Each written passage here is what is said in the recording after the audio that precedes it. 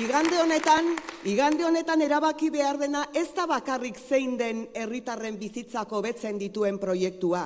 Igande honetan, lurraldearen baldintzak zeineko beren aprobetsatzen dituen bozkatu behar dugu. Zein den gipuzkoarekin antzekotasun handiena duen proiektua. Eta proiektu hori Euskal Herria bildu da. Euskal Herria bildu da.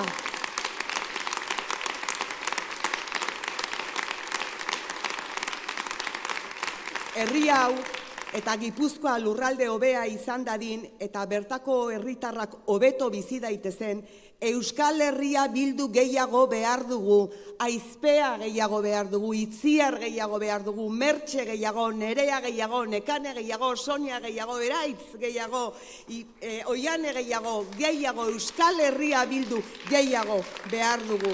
Horregatik da garrantzitsua Euskal Herria bildu bozkatzea, horregatik da garrantzitsua aizpea eta bere taldea bozkatzea.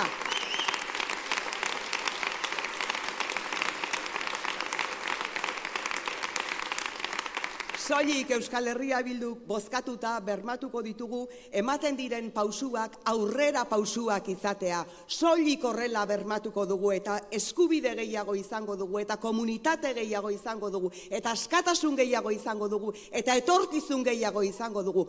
Hori bakarrik posible izango da Euskal Herria gehiago, Euskal Herria bildu gehiago balin badaukagu eta egingo dugu.